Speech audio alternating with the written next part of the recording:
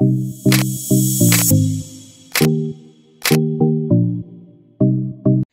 Assalamualaikum warahmatullahi wabarakatuh. Ketemu lagi dengan saya di channel vlog berita. Oke teman-teman, hari ini tuh ada kabar berita dengan judul Beredar di media sosial.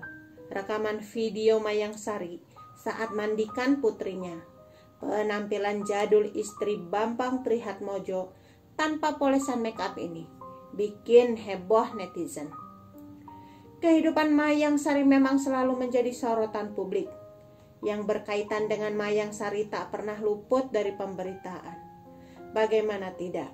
Biduk rumah tangga Mayang Sari dengan Bambang Trihatmojo tak luput dari bayang-bayang masa lalunya.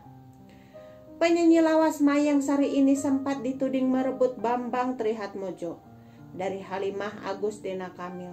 Meski begitu, keharmonisan Mayang Sari dan Bambang Trihatmojo saat ini selalu membuat semua orang iri.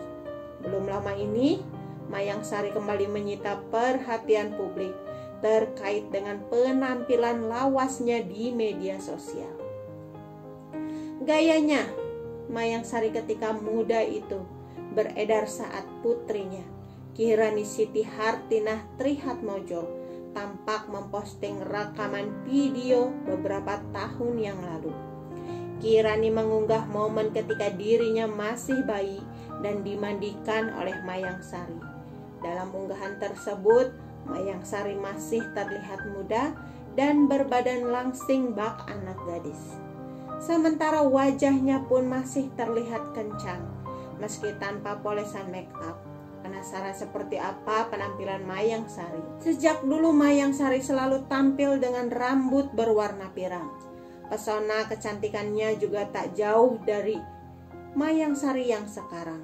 Sontak postingan tersebut langsung menuai berbagai komentar dari netizen.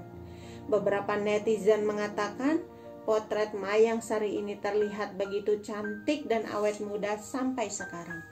Oke teman-teman itu sedikit berita dari channel vlog berita sampai ketemu lagi di berita-berita selengkapnya. Assalamualaikum bye.